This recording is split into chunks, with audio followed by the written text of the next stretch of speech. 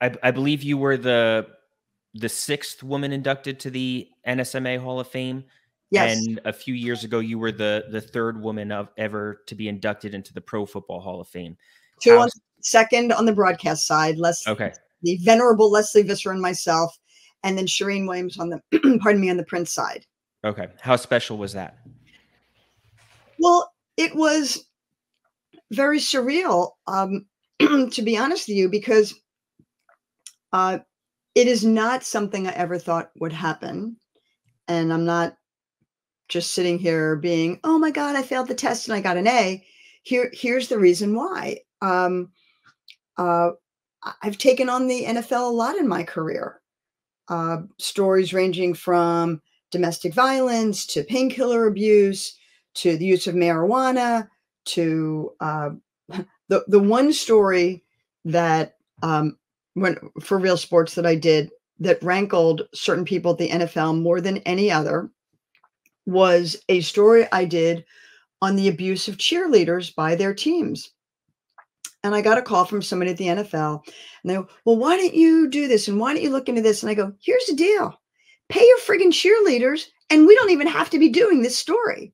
So I do, I did things like that because my my obligation as a journalist is to capture reality and and present what these issues are. And so I never thought that I would get that call because I always felt my if my work's going to speak for itself, my work has not always been the most positive for the National Football League. So that made it even more special. But I'm waiting on the side of the stage to be introduced, and they're playing my my my piece um, that the wonderful Robin Roberts narrated, and it you know it's like a career retrospective. So they're they have the Olympics in there, and they have ESPN in there, and and they have real sports in there, and they use a clip from my story on marijuana use on the NFL, where Nate Jackson, a former player, is talking about the efficacy of marijuana, and yes, he he believes that it it really has pain killing properties.